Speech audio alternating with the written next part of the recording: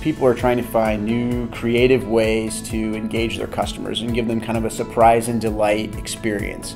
Everybody is looking for what is the next cool thing that a company is doing to set themselves apart, and robotics is a great way to do that. Robotics are going to allow us to take more of the menial tasks out of the workflow, allow robots to handle things that robots are good at, and allow humans to handle things that humans are good at, like building those relationships and forming uh, true connections. We are getting into an age where we can make use of the technology to have better productivity. Take the Kiva robots by Amazon. They use them in their warehouses to do the work which uh, like a human can probably will do two to three days in a few hours. We created a robot called Siena.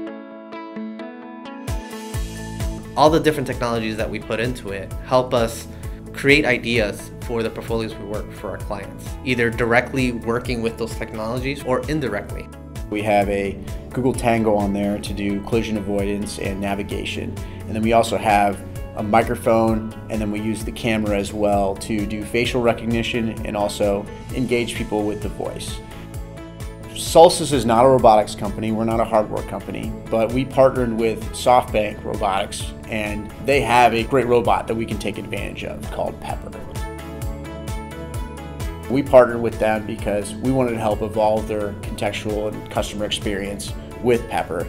Really, really give our clients an edge when it comes to robotics because that's the next big thing. A few years ago, if you wanted to build a robotics experience, you would be taking a very custom piece of hardware, writing some very custom software.